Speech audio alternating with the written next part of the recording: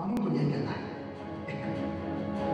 बांग्लादेश रुको आगे मत जाना रुक जाओ गोली मार दूंगा हम दुश्मन नहीं हैं even my country a new constitution even more important গ্রহণ করল তবে বাংলাদেশ কৃষক শ্রমিক আওয়ামী লীগ এবং রাষ্ট্রপতি শাসিত সরকার ব্যবস্থা অস্থায়ী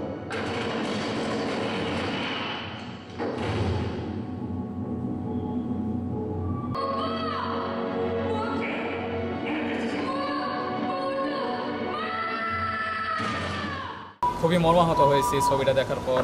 মানে কিছু বলব, অনুভূতি প্রকাশ করার ভাষা হারিয়ে ফেলেছি।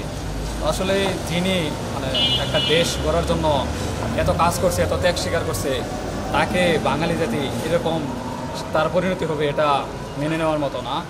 আর সিনেমাটা আমার মনে হয় বাংলাদেশের সকল দর্শকদের দেখা উচিত। বাংলাদেশের ঈদ- মুক্তিযুদ্ধের ইতিহাস জানার জন্য, দেশের জন্য কারা কীভাবে কাজ করছে এটা জানার জন্য হলেও ছবিটা সবার দেখা উচিত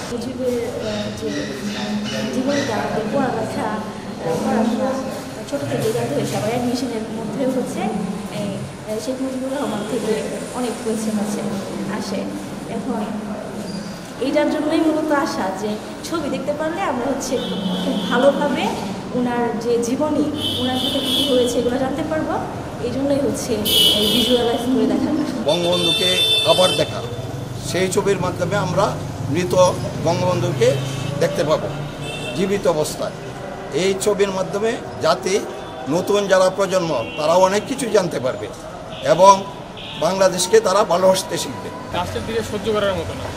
যে এরকম অবস্থা। আসলে আমরা রাজনৈতিক বলেন আর যাই বলেন সকল কিছু বিবেচনা শেষে রাখা যদি আর ব্যক্তিগত জীবনগুলো দেখেন যে একটা মানুষের দ্বারা তার পরিবারের উপর এরকম হস্তক্ষেপ করা হয়েছে এবং আপনাকে মেনে নেওয়ার মতো না। আর উনি যেমন একটা দেশের জন্য যে সমস্ত কথাবার্তা বলছেন, যে সমস্ত শিক্ষা দিয়ে গেছেন, এগুলো যদি এখনও প্রতিফলিত হয় এবং প্রত্যেকটা ছাত্র আন্দোলন, পরবর্তী আন্দোলন বা যে বিষয়ে আমাদের মধ্যে যদি প্রতিফলিত হয়, তাহলে আসলে আমাদের দেশ এখনও আগে সুন্দর অবস্থায় যাবে।